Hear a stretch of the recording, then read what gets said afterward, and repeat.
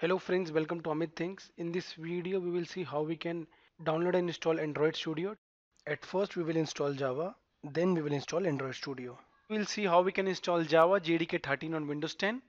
So Java JDK 13 released on September 17, 2019. So it's a new release and you should know how to install it easily on Windows 10. For that, first we'll go to oracle.com. Therein we will download, then we will install JDK or I should say Java JDK on Windows 10. After that we will set environment variables which is a key part and at the end we will just verify the installation. So to know that we have successfully installed it or not. So let's begin with the first part. Go to oracle.com. Go to oracle.com. Type Java JDK 13. Press enter click on downloads here. Now you can see the java SE development kit 13 downloads is visible. Go to the bottom and click on accept license agreement. After that after accepting you can see versions for linux mac and windows are available. Okay so for windows you need to go for 64 bit because Java JDK 13 will install on 64-bit Windows only for Windows operating system. If you don't know that your system is 64-bit or 32-bit, you can go to start and check from there itself. Let's check. Go to start, write about, press enter. On writing about,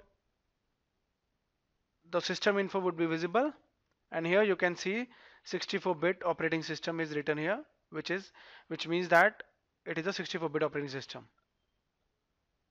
There is another way you can go to start and type system. On typing system, press enter. Press enter and the system information is visible. Within that you can see the system type here is 64-bit. x64 is 64-bit. So we have checked successfully. Now we will click on exe to download JDK 13. Click on it to download now you can see the downloading has started on the left and it will install it will download perhaps 160 MB so let's wait for it. Wait for the download. Now you can see we have successfully downloaded Java JDK 13 now go to the folder. Here you can see JDK 13 is visible double click on it to install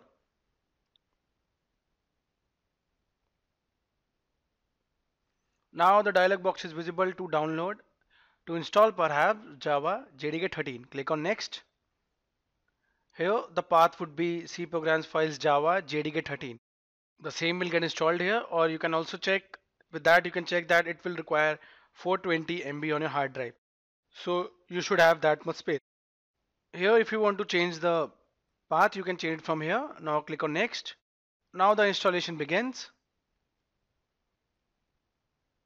Now we have successfully installed JDK 13 as you can see here 64 bit. Now click on close. Now we can go to start and check under CMD that whether we have installed it or not. It won't show anything because right now we haven't set the path. So now let's set the path first as you can see the steps here. Oracle.com we went to Oracle.com we downloaded and installed JDK 13. Now we'll set environment variables. For that go to start and type environment variables the easiest way? Now edit the system environment variables. Yes click on it. Now you need to click on environment variables. After clicking below you can see the path is visible under system variables. Double click on it. But before that you need to set the path here. So let us get the path. Now we'll go to the path where we have installed JDK it was in C drive if you remember program files Java and with that Java JDK 13 under that go to bin and copy the path. Now go to the environment variables. Double click on path under system variables. And go to new. Going to new paste. Control V. Now the path we have set successfully for JDK 13 click on OK now click on OK again and then the last OK would set our environment variables for us. Now we will go to start and type cmd to check whether we have successfully installed Java or not, JDK. Now right click and open it on the run as administrator. Now under system32 or cmd, now type java hyphen version to check whether we have successfully installed JDK 13 or not and press enter. On pressing enter, if you can see Java version 13 and the date when it released, that means we have successfully installed Java JDK 13 on our Windows 10 operating system. So guys, we successfully installed Java. Now we will install Android Studio. Let's begin. Here first go to Google type Android Studio. Here you can see the link is visible. On the right you can see that Android Studio is an integrated development environment by Google. It is built on JetBrains and the current release is 4.1 preview release. It supports Windows, Mac, Linux, Chrome OS. License is freeware. Size you can see here, developed by Google and JetBrains, and it is written in Java, Kotlin, and C++. So at first we will go to the developer.android.com official website. This is the official website for Android, and we will download it from here. Click on it.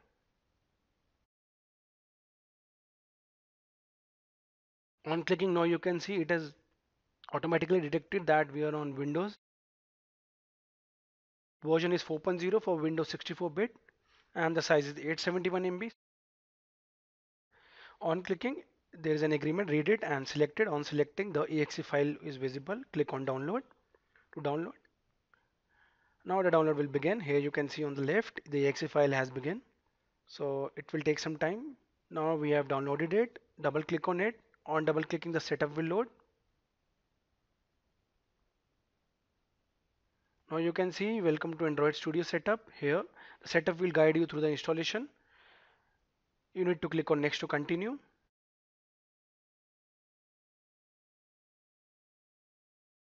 Now on clicking next you can see you need to choose the components. So here you can see the space required is 2.6 GB. So you need to just select it or it has been by default selected. So keep it as it is and click on next. Now you can see it will ask for the location. So the location specified must have at least 500 MB of free space. So hope you are having it. So it will get installed under C program files, Android, Android Studio folder will get created. You need to click on next. If you want to change it, you can click on browse and and install it at another location from here, but I'll keep it as the default and click on next. On clicking next, you can see you can choose the start menu folder and if you don't want to create a shortcut, you can select this option and it won't create a shortcut. So I'll keep the default and I'll click on install. Now you can see the extraction has begun and the installation has also started. Here are the details. So it has been completed. Now click on next. Installation is complete as you can see above. On clicking next, you can see you can straight away start Android Studio from here. As it is by default selected, so it will open on clicking finish now you can see the Android Studio will load. At first it is asking that do you want to import Android setting from the previous installation? We don't have any previous installation. It is the default setting it is asking. No, we don't want to import setting. We will keep the default. That is this option and click on OK. Now you can see the Android Studio will open.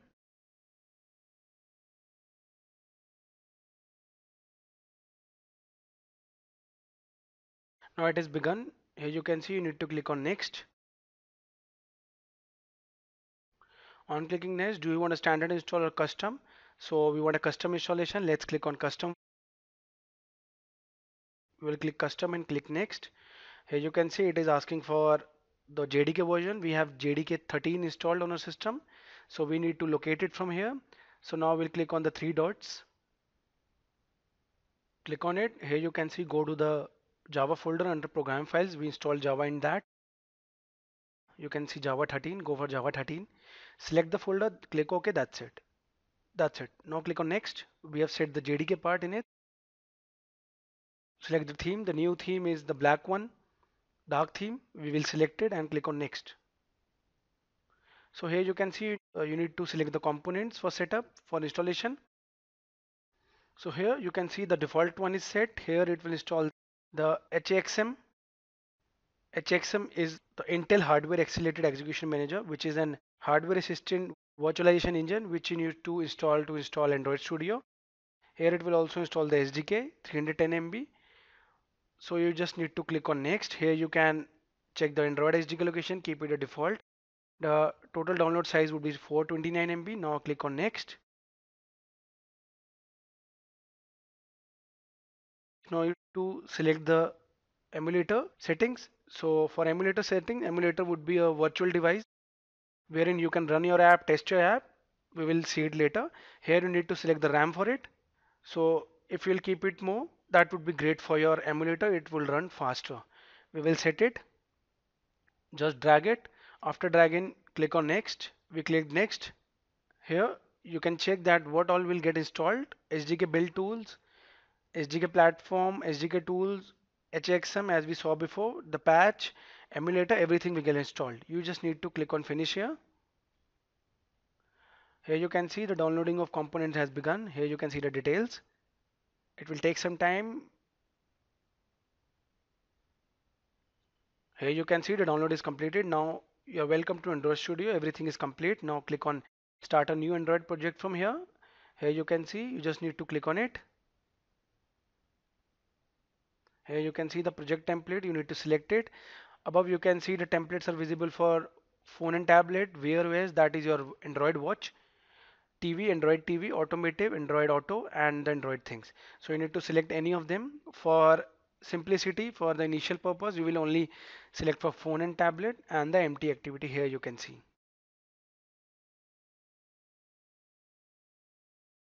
Selected and click on next. On clicking next, you need to set the name of the app your project. I'll set it as Amit application. The package name, you can set the name of the website. com dot I'll set the name of the website. You can set the package name as it is. In the same way you do it for Java. Location, keep it as it is. Language, I'll select Java and just click on finish now. Here you need to also see for the minimum SDK, keep it the default and you, all, you can you can also see that the, your app will run on your app will run on approximately 99.8% of devices so keep the minimum SDK as it is that is at API 16 it is Android 4.1 Jelly Bean now click on finish now our Android Studio project will begin here you can see it is loading now you can see the project is visible. Here are the project files for a default app which we created. You can see the package name. We set the same. The name of the project we have set Amit application. The same is visible here. Main activity Java is where your actual code is of the app and activity underscore main.xml file. Always remember XML file in an Android project is for GUI that is your graphics. Here you can see the processes were running. Now the background processes are running. Task for a new project. Now here you can see we need to create an AVD Android virtual device to run the project. For that go to tools and click on AVD manager on clicking. Now you can see a new UI visible. You need to click on create virtual device here so that you can easily check or test your apps. Create an app. You can test it easily by running again and again. So this is like a virtual device. After clicking create virtual device you need to select device definition. Here you can see name is visible. You can see the device here as well as the resolution and the size of the screen. You can also check the density here after that you need to click on next. So let's see which one we will select. We have selected pixel 2 and now we'll click on next. The size is 5 inch. On clicking next you need to select the system image and download it. This is because you are creating a new virtual device android virtual device. So here you can see on the left release name and API level is visible. Select accordingly. So we'll be downloading for Q that is API level 29 here read the license agreement accept it and click on next. On clicking next the component installation has begun. You need to wait for some seconds. The package is installing. Now you can see the installation is complete. All the components have been installed. Now I will click on finish. Here you can see we have downloaded. Now click on next. On clicking next it is asking for the AVD name. If you want you can change it rest every other option is visible. That is startup orientation. It will be visible as portrait or AVD by default. With that you can check the density also the resolution also. Under advanced setting you can see we have clicked on advanced setting. You can see the storage is visible. The internal storage by default would be 2 GB that is 2048 MB now you need to click on finish to finish the process. Now you can see our virtual device is visible. If you remember the name was pixel 2 API was 29 resolution was the same. Now you need to click on this icon play icon to run it. I'll click on it. As you can see it will launch now. Here virtual device is visible here. AVD now click on run to run the app. Go to run menu and click on run. Now click on app if you clicked on run app above you wouldn't have need to do this. We'll click on app here. Build is running because you have run the app. Here the pixel device if you remember device was pixel it is starting.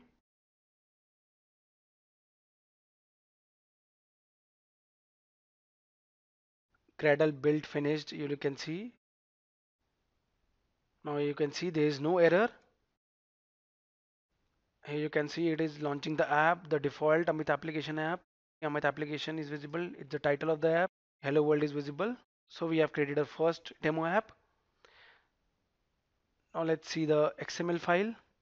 Here you can see hello world is visible here. So this was the GUI I told you the graphics. If you want to create a button just drag it. If you want to create a scroll view text view just drag it here and do the settings that's it. So in this video we saw how we can easily download and install Android Studio. We downloaded Android Studio for Windows 10 we also installed the packages SDKs AVD we selected Pixel 2 as our AVD you can select any of the options which will visible there. After that we also saw how we can create a new Android app. We created a new Android project and we ran our first app also under Android virtual device. Thank you for watching the video. Hope you liked it for more such videos and videos on programming, subscribe to Amit Thinks YouTube channel. So guys, we successfully installed Android Studio. So guys, we successfully installed Java. Now we will install Android Studio. Let's begin.